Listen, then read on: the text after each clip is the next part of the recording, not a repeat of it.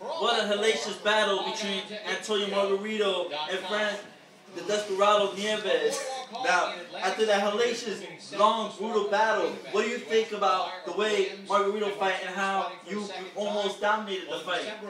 Oh man, the guy was, he was pretty taller than me. You know, he came with a couple, but but um, you know, it's nothing. You know, I, I dig in, dig in, dig. The guy is always open. You know, you know. I'm free. Wow, this is great.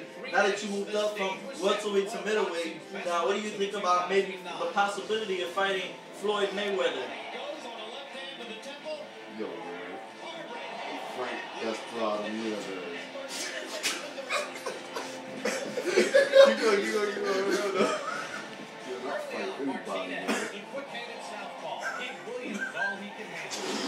They're dork. My God, well, that was a hellacious battle. Now, what do you think about the knockout between uh, Martinez? Now, this guy, he looks brutal. He just knocked out Paul Williams. And, and he's saying he could actually knock you out. What do you think about that? Williams would rally and battle back in the middle round. I'll leave that for my promoter.